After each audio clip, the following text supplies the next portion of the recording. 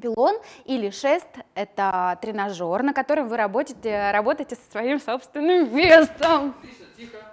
Еще раз. Могу. Это тренажер.